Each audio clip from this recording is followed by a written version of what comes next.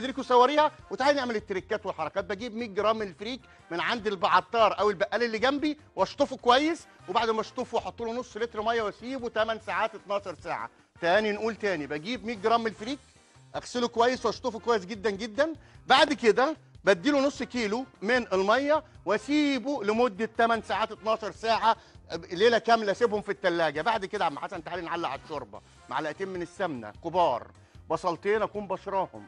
ومعلقة صلصة كبيرة وال100 جرام الفريك اللي أنا نقعته ده أصفيه من المية وأضيفه وأشوحه وأتبله ملح وفلفل ومكعب مرق وأديله لتر مية سخنة بتغلي. أقول تاني بجيب 100 جرام الفريك أشطفه. بعد ما أشطفه أنقعه في مية لمدة 12 ساعة. بعد كده تعالي ما نعلق على الشوربة. بحط معلقتين سمنة بصلتين أكون بشراهم معلقة صلصة كبيرة. 100 جرام الفريك دوت أشوحه كويس أتبله ملح وفلفل ومكعب مرق وأديله لتر مية سخنة بتغلي وأسيبه 30 دقيقة بعد 30 دقيقة نقدمه بالحركات والتكات. تعالوا نقول بسم الله الرحمن الرحيم ونشوف الأخبار إيه.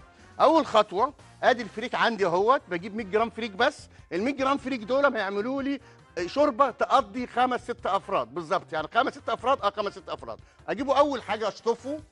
بعد ما أشطفه أصفيه من المية وأنقعه في مية لمدة 12 ساعة. أطلع منه الأتربة اللي فيه الأول قبل النقع. كويس كده قدامك أهوت. وبعد كده أصفيه. وأتأكد إن مفيش فيه أتربة خالص. بعد كده يا عم حسن بنقعه في نص لتر مية لمدة 12 ساعة. تمام جدا كده قدامك أهوت في الثلاجه أو في المطبخ. بصي بعد 12 ساعة قدامك أهو. بعد 12 ساعة وصل لده كده. أدي اللي أنا نقعته دلوقتي بعد ما شطفته 12 ساعة قدامك تضاعف حجمه. وافتحها وبيض وبقى زي الفل قدامك أهو. تعالي بقى نشوف بقى هنعلق عليه إزاي. أدي معلقتين السمنة نحطهم عندي واقدحهم واحدة واحدة كده معاكي خطواتك ماشية معاكي واحدة واحدة عشان نعمل أحلى شوربة فريك في الدنيا. أقدح السمنة بتاعتي. أدي البصلتين بتوعي اللي أنا بشراهم. بصل مبشور. أخليه شفاف خالص. خدي بالك بقى التركه أنا حاطط معلقة الصلصة ليه يا عم حسن؟ عشان أخلي الشوربة بتاعي لونها روز. تقدري تشيلي معلقة الصلصة. أنا الصلصة محطوطة عشان اللون بتاع الشوربة يبقى روز. عايزاها تبقى بلون الفريك شيلي معلقة الصلصة. خدي بالك من التركه دي. واحدة واحدة كده مع بعض. دبليها كويس. بعد ما دبلتيها كويس كده بقت شفافة. البصلاية. أروح جاية مدياها معلقة الصلصة. واتفقنا معلقة الصلصة موجودة. عشان اللون يبقى روز احورها عشان اطلع المادة الحافظة اللي جواها والملوحة اللي جواها. بعد كده يا عم حسن هعمل إيه؟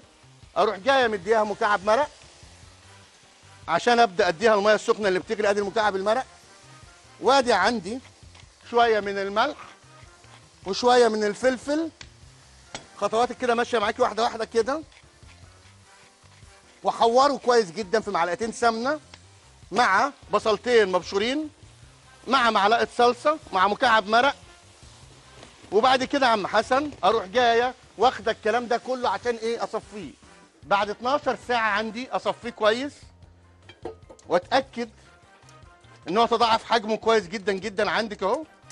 يا جمال وحركاته وتكاته صفيه خالص من المية. بعد ما صفيته من المية خالص أخده وأروح فين؟ على الخلطة بتاعتي دي. وأروح جاي يا عم حسني منزلها بقيته كده كله عندك واتفقنا. ال 100 جرام من الفريك ده يعمل لك شوربة لست أفراد خمس أفراد. واحدة واحدة احوره بقى خدي بالك التركه يعني إيه احوره أسويه كويس قوي في البصلاية ومعلقة الصلصة ومكعب المرق وشوية ملح وشوية فلفل ومعلقتين سمنة. مش أكتر من كده مش أكتر من كده. خطواتك كده قدامك أهو. يا جمال وحركاته وتكاته وبعد كده عم حسن أنزل عليه المية السخنة اللي بتغلي وأظبطه وأسيبه قد إيه؟ أسيبه 25 دقيقة 20 دقيقة يكون استوى عندي. أرجع هنا أجيب إيه؟ المية السخنة بتاعتي. زي ما أنت شايفة كده تفاصيلك قدامك واحدة واحدة.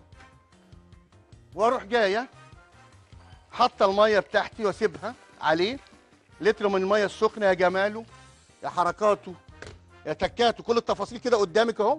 واتفقنا اللتر اللي أنا معلقة الصلصة اللي أنا حطيتها عشان اللون بتاعها يبقى روز أهو قدامك أهو.